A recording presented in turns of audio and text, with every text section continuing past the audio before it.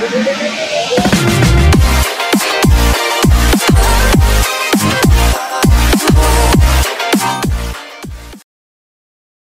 안녕하세요 수비입니다. 오늘은 호주에서 직장을 잡는 방법에 대해서 말씀드리려고 합니다. 제가 이력서를 검토하고 인터뷰를 보고 사람을 고용하는 입장에서 일해왔지만 그렇다고 제가 말하는 모든 게 맞는 말일 수는 없습니다. 하지만 늦게 요리를 시작한 친구들에게 해주었던 조언들이었고 그중 많은 수의 친구들이 지금은 한국 호주에서 요리사로 근무하고 있습니다. 제가 말씀드리는 게 단 한 분이라도 취업하는 데 도움이 되었으면 하는 마음에 이렇게 조언을 드려봅니다 겁니다. 우선 경력자분들은 너무 case by case라서 다음에 다루기로 하고요. 갓 졸업한 한국에서 요리를 공부하거나 일을 해왔던 요리 초년생, 학생, 워킹 홀리데이 분들이 처음 호주 주방에서 직장을 구하는 방법에 대해서 말해보겠습니다. 우선 호주에서 직업을 구하기 위해서는 합법적인 비자가 있어야 됩니다. 그 비자는 크게 워킹 홀리데이, 학생, 그리고 영주권 관련 비자가 있습니다. 네, 워킹 홀리데이와 학생들은 6개월 근무 제한과 20시간 근무 제한이 있기 때문에 상대적으로 job을 잡기가 어렵습니다. 하지만 도시가 아닌 시골 또는 관광지에서는 기본적으로 성수기와 비수기가 나눠져서 성수기일 경우에는 적정 시간 일해주기를 원하는 곳이 많습니다. 그런 곳에서 굳이 활동을 하신다면 학생이나 워킹 홀리데이로도 더 높은 확률로 직업을 구할 수 있습니다. 그리고 카페보다는 작더라도 레스토랑에서 근무를 하신다면 그 다음에 더 좋은 직업을 찾기 위한 좋은 밑바탕이 될 수 있을 겁니다. 기본적으로 유학을 준비하시거나 워킹 홀리데이를 준비하시는 호주에서 요리사로 근무하기 위해 준비하시는 분들은 한국에서 아르바이트라도 식당 경험을 짧게는 6개월 이상 하길 추천드립니다. 호주에서 바로 경력 없이 직업을 찾기에는 주방 허드렛 일이라도 경쟁이 뒤처질 수가 있습니다. 그렇기 때문에 한국에서 조금이라도 근무를 하셔서 기본적인 prep 또는 주방 시스템을 이해하고 있음을 보여 주는 것이 좋습니다. 자격증이나 하기보다는 어느 규모의 식당에서 어느 일을 얼마나 했느냐가 더 중요합니다. 호주는 reference라는 것이 취업의 가장 중요한 부분을 차지하는데요. 전 직장 또는 업무 관련하여 지원자의 능력을 증명해 줄 수 있는 사람으로서 매니저급 이상을 대상으로 합니다. 한국의 경력보다는 호주 내에서 경력을 더 인정해 주는데요. 일반적으로 고용하는 입장에서는 이 사람이 빠른 시간 안에 한 사람의 몫을 해주길 원하는데 검증되지 않은 이력서의 내용보다 확실한 사람의 검증된 의견이 판 판단에 있어 더욱 중요하기 때문입니다. 하지만 오늘은 초년생들이 취업을 할 수 있는 방법에 대해서 말씀드리기에 reference는 없는 분들이 많을 겁니다. 성실히 일하실 수 있는 분이라면 이력서를 주시면 reference 부분에서는 제가 도와드릴 수 있는 부분은 도와드리겠습니다. 그러면 본론으로 들어가서 어떻게 호주 주방에서 일할 수 있을까요? 우선 호주 주방에서 일하기 위해선 최소한 업무적인 영어 소통을 할 수 있어야 합니다. 유창히 사사로운 생활 얘기가 아닌 지시나 간단한 소통 정도가 가능하면 주방 의 첫 직급인 kitchen hand로 지원하신다면 문제가 없습니다. 주방 직급에 대해서는 예전에 제 동영상을 보면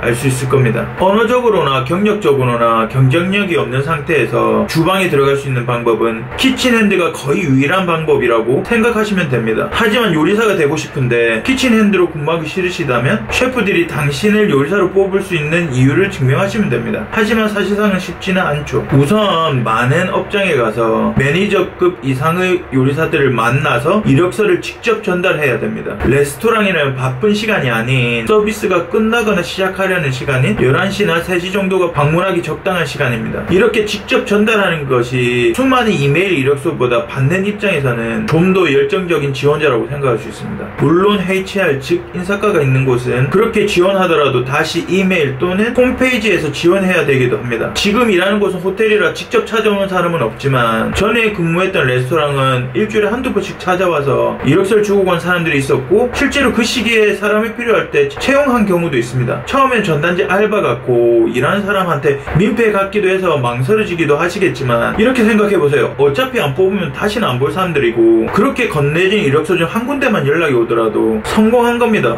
뭐든 처음이 제일 어려운 겁니다. 그리고 이력서 작성 시에 기본적으로 들어가야 할 이름, 전화번호, 주소지를 제외하곤 요리 관련된 내용이 없다면 쓰지 않는 게 좋습니다. 그리고 요리 관련한 경력에 대해서 대해서는 회사명, 일을 시작한 시기, 마친 시기, 포지션, 그리고 했던 일을 최대한 자세히 써주는 게 좋습니다. 초보 요리사를 뽑는 입장에서는 좋은 attitude와 성실함이 중요하지 1, 2년 배운 스킬에 대해서는 중요하게 생각하지 않습니다. 어차피 여기서 다 새로 배워야 되기 때문이죠. 그래서 어설픈 스킬을 가진 것보다 성실한 또는 열정을 보여주시는 게 훨씬 도움이 되실 겁니다. 그렇게 kitchen hand를 시작하게 되신다면 제일 어려운 걸 해낸 겁니다. 그 다음 요리사가 되기 위해서는 성실함이 가장 중요합니다. kitchen hand라는 직책이 설거지 위주로 하지만 하루 종일 설거지 만 하진 않습니다. 주방 심부름이나 간단한 재료 손질들을 하게 되는데요. 그런 걸 마치시게 되면 kitchen hand 바로 위에 분들, 즉 cook이나 commis들이 하는 일들을 계속 배우려 하셔야 합니다. 그러려면 자신이 하는 일 완벽히 다 하고 항상 일을 찾아다녀야 합니다. 요리사가 되고 싶다고 항상 어필을 한다면 일을 궁금해할 때 자신의 업무를 다 했다면 안 가르쳐 줄 이유가 없습니다. 예전에는 조금 더 일찍 가고 또는 남아서 일을 배우기도 했지만 지금 그렇게 하는 걸 좋아하지 않는 업장도 있고